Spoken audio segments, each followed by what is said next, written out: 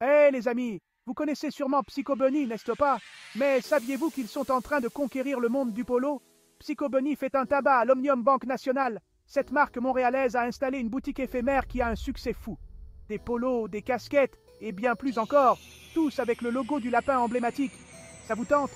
Depuis le début du tournoi, les ventes montent en flèche. Bertrand Sesvet, le directeur de la création, est aux anges. Psycho Bunny est même devenu l'équipementier officiel d'équipe Canada pour la Coupe Davis et la Coupe Billie Jean King. Quel est leur secret?